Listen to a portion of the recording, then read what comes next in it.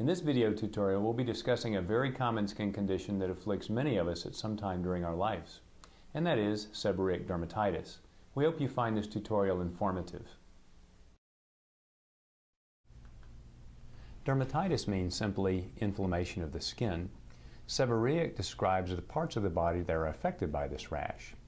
The seborrheic areas imply parts of the skin that are densely populated with sebaceous glands.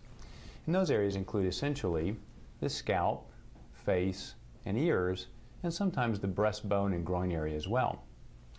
Seborrheic dermatitis is characterized by patches of redness, scaling, and flaking in these areas that often is quite itchy. People don't like it for that reason, plus it's flaky and you can get flakes on your clothing and nobody likes to have dandruff. About 3 to 5% of the population at any given time has seborrheic dermatitis, and that number may reach as high as 10 to 20% if you count the mildest manifestation of seborrheic dermatitis, which is dandruff.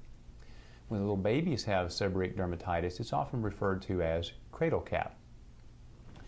The, both sexes are equally affected by this condition. It most commonly starts after adolescence and kind of peaks in the 30s to 40s, then actually kind of wanes off after that.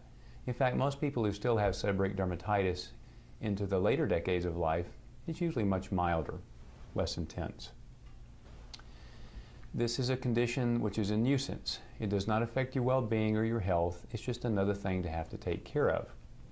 Like so many conditions that affect human beings, you can manage this, you can control it, you can treat it, but you can't cure it.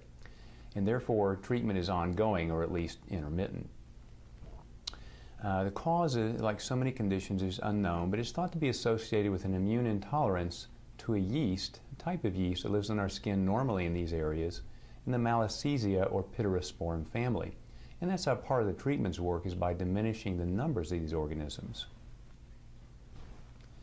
By and large, like I already mentioned, it's a very chronic condition. It does wax and wane, comes and goes. It's also generally worse in the winter months or the colder parts of the year if you have a, a child younger than adolescence and this and the rash or scaling involves a scalp, one always has to be suspicious of an infection with ringworm or a fungus, which is termed tinea capitis. But seborrheic dermatitis can also affect children, as with these two illustrations. On the left, you see a child that has uh, tinea capitis or ringworm infection of the scalp, and on the right is a child with facial seborrheic dermatitis. Treatment again is intermittent or continuous. In order to make it as convenient as possible, for the scalp we usually use a combination of medicated shampoos, some of which are available over the counter and some by prescription, as well as a topical medicine that is applied on an as needed basis. We would generally suggest using the medicated shampoos two or three times per week, whether symptoms are present or not, for prevention, and again the topical medicines on an as needed basis. For the scalp, most of the medications are designed not to mess up the hair, so they're liquids or gels or foams. For the face and ears, creams or lotions are used, but medicated washes are also helpful. As far as over-the-counter shampoos available, there are many brands available, as you can see by this illustration.